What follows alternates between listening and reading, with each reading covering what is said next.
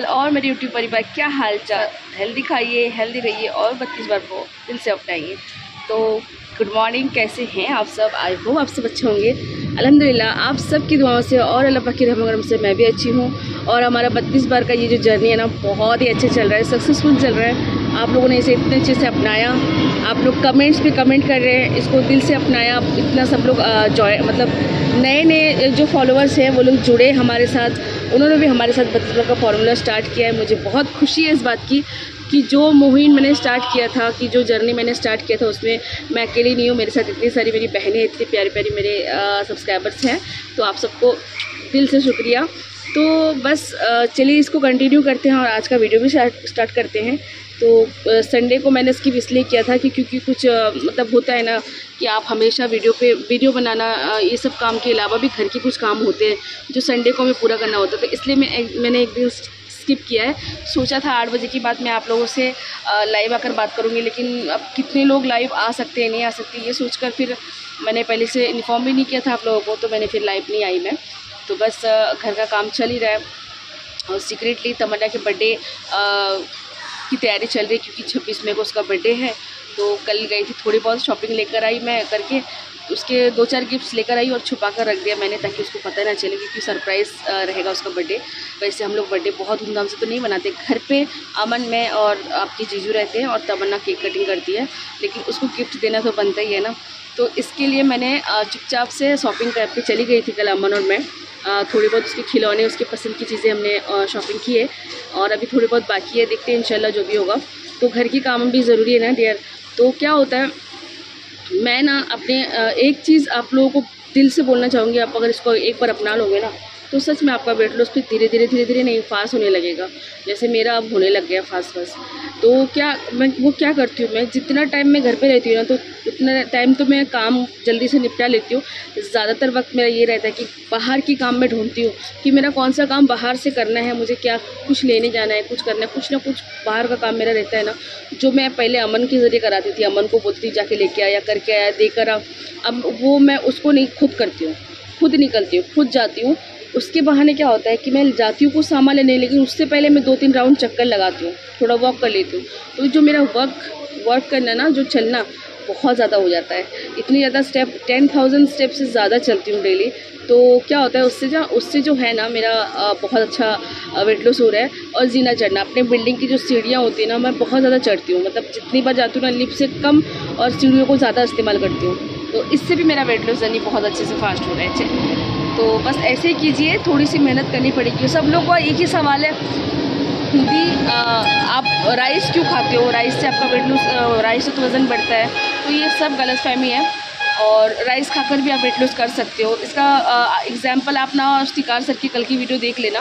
उसमें एक मैम जो हमारे बंगाल से है, हमारे बंगाल वाले राइस खाते हैं, इसका प्रूफ आप देख लेना स्टिकार सर की वीडियो में कि वो मैम भी, उन्होंने भी राइस खाकर ही अपना वेट लूज़ वेट लूज़ किया है, ठीक है?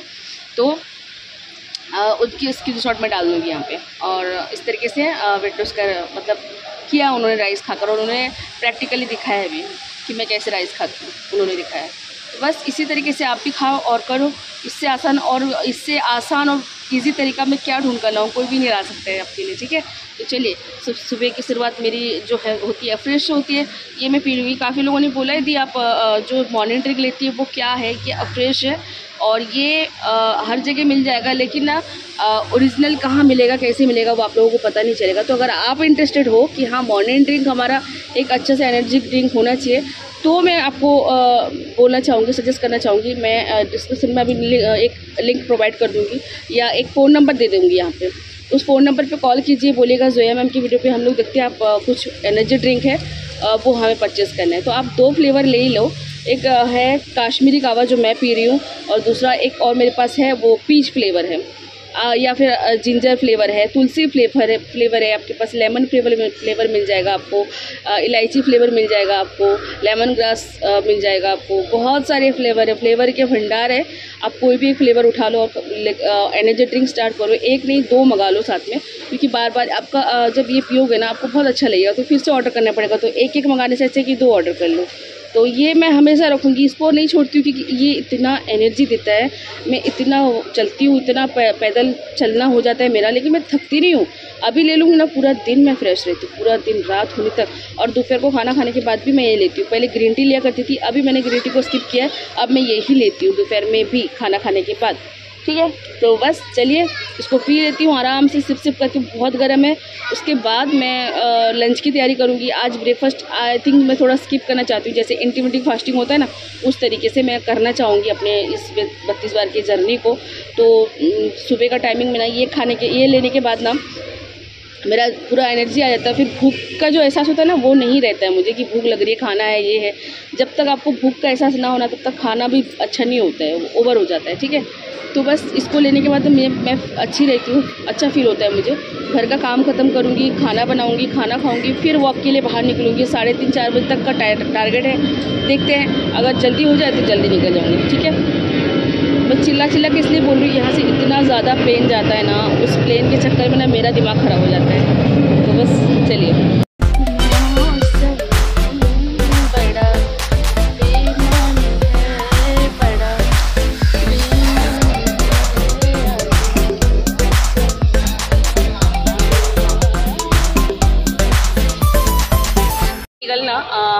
पे जब से ये बिल्डिंग नया वाला बना है ना, यहाँ पे आके बैठा रहता है। और इसका जो चेहरा रहता है ना, हमेशा मेरी खिड़की की तरफ़ विंडो की तरफ़ ही रहता है। और ये मुझसे बातें करता रहता है। बहुत ही प्यारा है क्यूट सा है। बाज मैंने इसका नाम रखा है विरांजो विरांजो सिंगानिया है ना? वो नागिन में था ना, विरांजो। चील बाज वही है ये भी। हेलो थोड़ा सा जूम कर देते हाय विरांजो, कैसे हो? बहुत ही क्यूट है, बहुत ही क्यूट है। वैसे डरावना भी है। मेरा जब पकिया था ना, मेरे पकिया को ये बहुत ज़्यादा डराता था। कल ये वाला पर्स भी लेकर आई हूँ। क्योंकि मेरे पास ना, मेरे पास पर्स नहीं थी। पर्स की प्रॉब्लम हो रही थी बहुत ज़्यादा। खाली कर। हाँ थैंक यू मेरा बच्चा।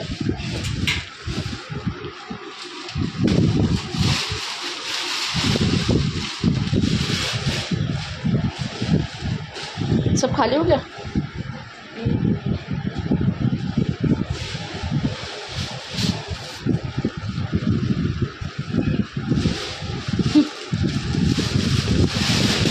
दुनिया भर का कचड़ा। ये खिड़की के सामने सब रखा है बिकॉज़ ना यहाँ पे धूप आती है थोड़ी सी, आप देख सकते हो। ये नहीं खुलेगा, इसलिए रज़ाई, चटाई थोड़ा सा यहाँ पे रखा है। दोपहर तक मैं यहाँ से हटाऊँगी जब धूप अच्छे से आ जाएगा, इसीलिए यहाँ पे रखा गया है।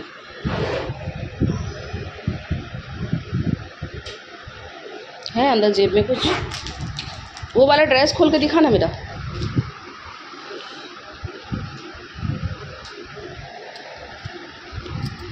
देखिए गाइस ये ड्रेस भी कल लेकर आई हूँ। कैसा है बताना आप लोग, ठीक है? जस्ट ऐसे ही थोड़ा ट्राई करने के लिए मैं बोली देखती हूँ। नॉर्मल ड्रेस पहनती हूँ तो ये वाला मिला मुझे। कलर थोड़ा सा यूनिक लगा तो इसलिए मैंने लिया है। तो ये मैं आज पहनूँगी। वैसे मैंने बाहर लोकल मार्केट से लेना तो यहाँ का साइज़ बराबर नहीं रहता है। तो मैंने ना डबल एक्सल नहीं लिया ट्रिपल एक्सल ही लिया है भाई। अगर ऐसा, क्योंकि ना लोकल मार्केट के जो प्रोडक्ट होते हैं ना, कपड़े, उनका साइज़ दिखाता सही है, लेकिन मतलब दिखाता का कम है, लेकिन वो बड़ा है, लेकिन होता बहुत ही छोटा है। इसीलिए ना, मैंने वैसे तो बहुत ही बड़ा दिख रही है। मुझे ढीला होएगा, मुझे पता है। वैसे मुझे एक्सेल डबल एक्सेल लेना चाहिए था, लेकिन मैं थ्री थ्री एक्सेल ही लाई हूँ। इसको मैं पहन के दिखाऊँगी आप लोगों को, ठीक है? आज नहीं, मैं ये कल वेयर करूँगी ओके हेलो एवरीवन तो गैस नहा के आ गई हूँ और पनीर की सब्ज़ी बनी है तो चलिए आज पनीर और ब्राउन राइस के साथ टेस्टी सा खाना खाते हैं। और बत्तीस बार चबा कर खाना है और भूलना नहीं है, ठीक है? और खूब सारा सैलेड खाइए। जितना फाइबर खाओगे, उतना आपको लूज मोशन सॉरी कॉन्स्टिपेशन आपका दूर हो जाएगा। कॉन्स्टिपेशन की तकलीफ़ जिनको है, वो फाइबर ज़्यादा से ज़्यादा खाइएगा। ककड़ी का आप कोशिश कीजिएगा, जो खीरा मिलता है ना, हरा वाला, वो खरीद लीजिएगा और उसको छिलके के साथ खाइएगा, क्योंकि छिलके में ज़्यादा फाइबर होता है, ठीक है? तो चलिए, खाना स्टार्ट करते हैं और उसके बाद फिर आप लोगों से आराम से बातें करते हैं। मैं तो अभी खाऊँगी अच्छे से ककड़ी, खीरा सलाद उसके बाद खाऊँगी खाना, ओके? तो चलिए, खाना शुरू करते हैं। Rice thali. This is white rice this is brown rice तो ऐसे पनीर के साथ खाऊँगी। सब्ज़ी ज़्यादा लिया मैंने, शिमला मिर्च और पनीर की सब्ज़ी ज़्यादा भर के लिया मैंने। राइस है, ककड़ी है और कांदा है, आज गाजर नहीं है मेरे पास। तो बस इसी के साथ खाना शुरू करते हैं। चलिए आप भी बिस्मिल्लाह कीजिए। तो चलिए, एक बार प्रैक्टिकली दिखाई देती हूँ। ठीक है? आप लोग बोलते हो ना कि राइस को बत्तीस बार चला, चबाने नहीं होता है। क्यों नहीं होगा? आप एक काम करना, जब राइस आप खाओ ना इस तरीके से राइस आप लेते हो ना, छोटी सी निवाली साथ में ककड़ी लिया कीजिए। अब क्या होगा, हम उसको चबा सकते हैं। है ना? चलिए प्रैक्टिकली करके दिखाती हूँ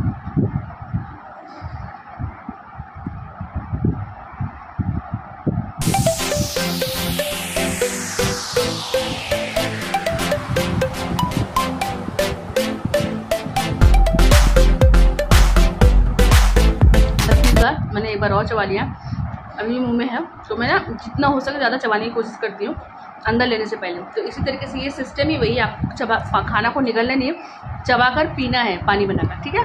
तो चलिए, खाना खा लेती हूँ, आप भी खा लीजिए, और ये पनीर मेरी तरफ़ से आपके लिए, लीजिए बिस्मिल लीजिए ठीक है? चलिए चलिए गैस निकल गई हूँ। दोपहर का टाइम है, साढ़े तीन भी बजे अभी तो मैं निकली थोड़ा काम से, और थोड़ा वॉक करना। जल्दी से चलते हैं थोड़ा वॉक करके घूम फिर फिर आते हैं। तो गाइज़ घर आ चुकी थी, मैं वॉक करके और थक भी गई थी तो मैंने पपाया कट कर लिया, रात का डिनर यही करूँगी मैं, बस यही खाकर और कुछ नहीं खाऊँगी। आप सब भी प्लीज़ स्टार्ट कर दीजिए बिल्कुल भी मत सोचिए। और यहाँ पे अमन के पैर में मोच लग गया ट्यूशन से आते हुए ना रोड की कटिंग चल रही थी, खुदाई चल रही थी, वहाँ खड्डे में उसका पैर गया और तो मोच लग गया बहुत ज़्यादा। तमन्ना की भी उंगली कटी छोटी वाली उंगली चाकू से कुछ कट करते हुए। तो घर पर यही सब परेशानी चल रही तो बस आज का ब्लॉग भी मैं यहीं पेंड करूँगी। आई होप आप सबको ब्लॉग पसंद आया है, पसंद आया तो प्लीज़ वीडियो को लाइक चैनल को सब्सक्राइब कर दीजिएगा। अल्लाह हाफिज़ Bye bye.